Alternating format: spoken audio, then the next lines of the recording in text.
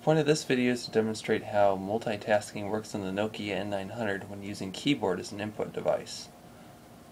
So first off I can actually switch applications by using the control and backspace keyboard shortcut and as you see that uh, flips through my applications in a way similar to Alt plus Tab on a desktop computer which is really handy because if I'm working on say something in settings and I need to get to my clock I can just tab right over to it and there I am.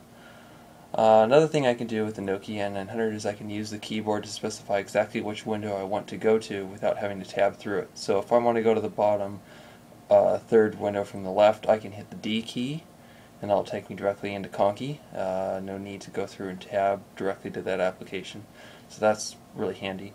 Another thing I can do is I can switch uh, right through my list of applications from left or right and not have to go to the application uh, switcher and I can do that by hitting the control key and the uh, left or right arrows. And this is uh, pretty handy as well because I don't have to spend time trying to find the window and things like that. So if I know exactly what window I'm working with that is a pretty handy feature. So as you can see this is uh, pretty convenient once you start using the Nokia 900 for a while being able to use the keyboard as opposed to having to touch the screen and you know watch a little animation go flying away. So hope you find this video helpful